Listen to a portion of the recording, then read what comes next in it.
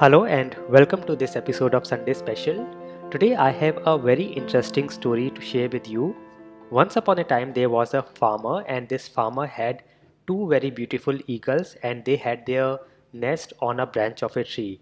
The farmer had taken care of these eagles since they were small.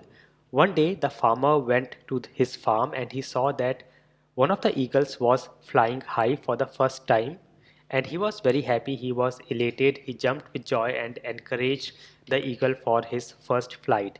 He also observed that the second eagle was still sitting on the branch and he was not flying.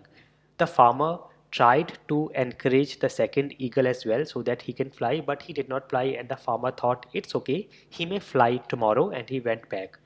The next day he came back to his farms and he saw the same eagle flying high again and the second eagle was still sitting on the branch and some days and weeks passed but the second eagle did not fly and finally the farmer gave up on the second eagle. One day a saint came to that village and this farmer being a very religious person he invited the saint for lunch. While having lunch the saint saw the eagles and the farmer told him the story about the two eagles.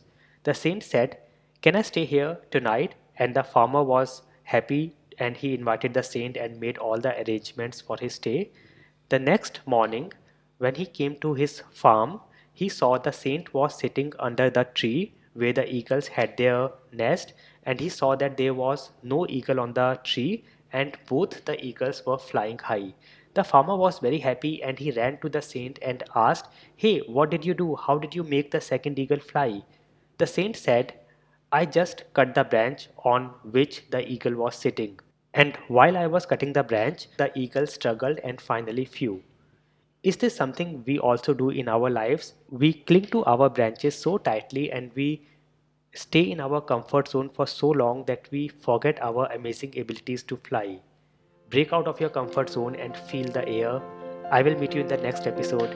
Thank you so much for watching.